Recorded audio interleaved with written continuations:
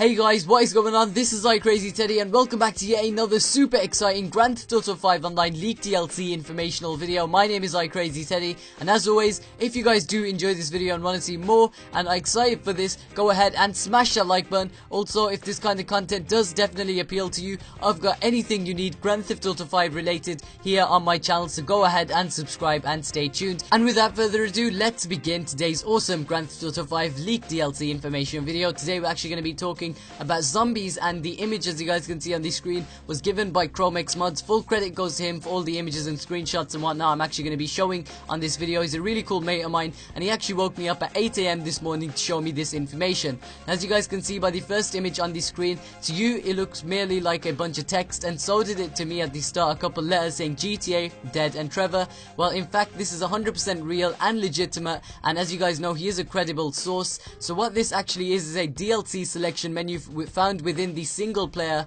of Grand Theft Auto 5. Previously I brought you guys a video of him being able to spawn in things from the source code and the strings of text which I found in the GTA 5 source. Now he's actually managed to re retrieve this sort of little menu or whatnot that actually allows you to launch up DLCs without them being added to the game or DLCs which are supposedly meant to be coming to Grand Theft Auto 5.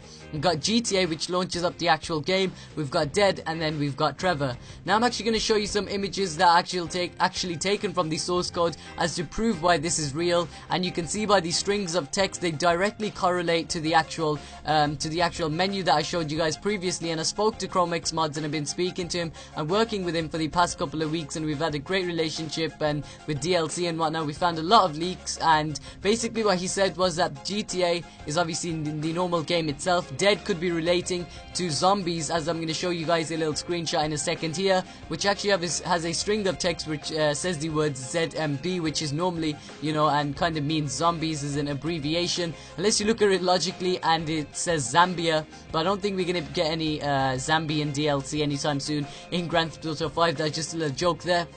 But anyway, moving on with the video itself, we got some images from the source code which actually back up this whole little menu thing. If you guys want to def definitely check out Chromex Mods, the channel link will be down below in the description. I'm really excited for this. We've actually finally got something in the code which relates to zombies and this whole little menu itself. If we can make any progressions with this whole little launching up menu and this pre-DLC selector, then I'll be sure to let you guys know. All the latest Grand Theft Auto 5 leaked DLC information will be here on my channel. Drop Drop a like on the video if you did enjoy. Let's try and push for 4,000 likes and also subscribe to my channel if you're new. Be sure to check out Chrome. My name is iCrazyTeddy. Be sure to follow me on Twitter and like my Facebook page. And I'm out. Peace.